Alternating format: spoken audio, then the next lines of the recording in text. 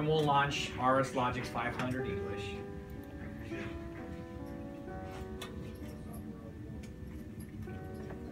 And then you're gonna wanna go File, New. Then you have to select the processor we're working with, which is a Micrologix 1000.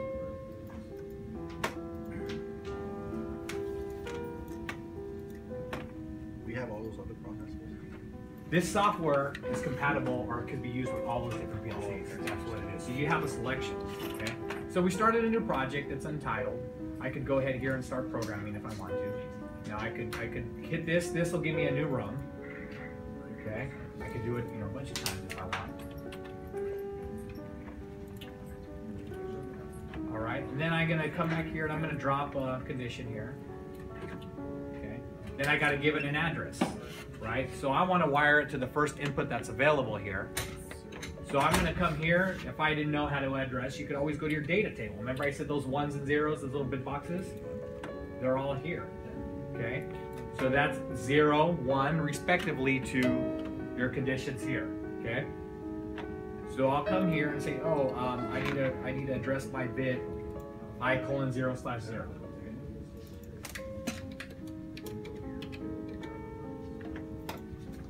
Right, now I want to make it um, control and output to energize. So I'm going to come up here, grab one, drop it down, and I'm going to give it an address of O colon zero slash zero. Okay. okay, we're good. Now I got to come back and get rid of these E's because that means it's an edit mode. Okay, and right now my project is like that. I could do this to make it bigger, but the easiest way to do it is just go up here to Window, Arrange, Default Project, and it makes it nice and big so we can see everything that's going on. Okay. So I'm going to come back here. I could hit the green check mark. I could come back here, right click. I usually right click and verify. And it's telling me, hey, you're good to go. Um, there's no errors that populated. Sometimes if it didn't like something, it's going to populate an error and tell you, you know, something in, is invalid here. Um, so now I got to download this to the controller because I'm offline right now. I'm developing a project. No different than if you were at home writing the logic. You're offline. We're not connected to anything. So what is the program that I'm going to launch here? RSLinx. Okay. I have a little icon down here. It's a little, looks like a chain. Okay. But I'm going to come back here. All programs. I'm going to look for Rockwell software. And I'm going to launch RSLinx. So the first step here is I could come up here and I could hit this configure drivers. That'll get me there. There's a lot of different ways to get to the screens, but I'm going to go communications, configure drivers. And I have a couple other drivers configured. I'm just going to wipe those out, delete them. It shouldn't affect anything, but these are for emulators. We're not using that. And I'm going to come back here and I'm going to add a driver. So depending on the this these selections here are basically going to say how are you going to communicate with your PLC processor. Okay, we're going to communicate here with the serial connection here. So I got to pick an RS232 DF1 device. Okay, so I'm going to select an add new, and I'm just going to default that. That's Allen-Bradley underscore DF1. Hit OK. And then when I populate this menu, COM port, COM1. Now, if you look on the back of the PC, there's a little connector. It's a nine pin connector. Okay, that is going to be COM port 1. If we had another COM port, sometimes they're labeled A and B, that would be COM 2. But in this case, it's going to be COM 1, and I'm going to hit auto configure. Okay, auto configure configuration successful. So basically, I said go ahead and go look for a PLC processor. It went out, it found it, and it said it was successful. So I could go in now and I could download this program to the processor if I wanted to. Another step I could do is I could come back here to RSWho, and you see that DF1 driver?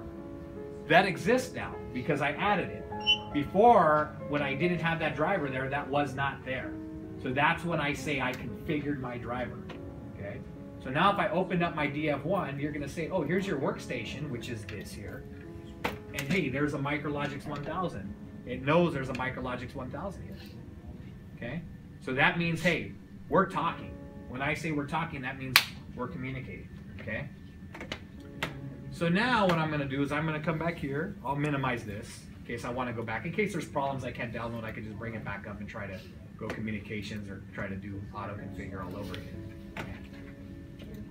And this this auto configuration, it's in your lab manual at the beginning, in case you need that procedure. So I'm going to come up here. There's different ways you can do it. There's a shortcut method that's just file download. Now I don't like that method because it's not consistent. Because you see right now the driver it says unknown, so it's going to have a problem if you try to do it that way. Obviously, you could come into the channel configuration, controller properties, controller communications, and select the driver that you want to use. Then that little shortcut's going to work fine. Okay, but this is the way I think you guys should get in practice of doing it. Do it this way, communication system comms. This way you know exactly what you're downloading to. You're saying, I'm going to download DF1 to this processor and hit download. Because if you were using maybe an Ethernet driver, you could have maybe 20 or 30 different PLCs that are communicating with the software. And I've seen guys download the wrong program to the wrong PLC. So this way we know, hey, I'm going to download to the MicroLogix 1000. I'm going to come here and I'm going to download. So if there's multiple um, wow, MicroLogix 1000, how do you know which one it is? Well, see, that's the thing. If you had a project, right, the project is going to have the IP address. We're talking about Ethernet of the particular pro- processor you want to download to, right? So you have to be careful and know that you're going to download to the right processor that has that IP. Okay. In this case here, it's just a serial communication, but it's good to get in the habit of doing this because you know um, you know exactly what you're doing. So this guy, since I never gave it a name or anything, it's going to prompt me with something. So I'm just going to go name and test. and then it's going to give me download program. It's going to say MicroLogix 1000. Are you sure you want to proceed with the download? Yes. So they give you, you know, a warning. Current settings do not match settings because you know this could be a default processor. Who knows? Hit yes. The processor is in a remote run. Processor must be switched to program. Uh, remote program continue. Yes. So it's just telling you that if you do this and you're running, you're going to stop running while this is downloading. It's going to take it out of run and basically put it in program mode. When it's in program mode, the PLC is not scanning anymore. He stopped scanning, okay? So I'm gonna go yes. You see the run light went out.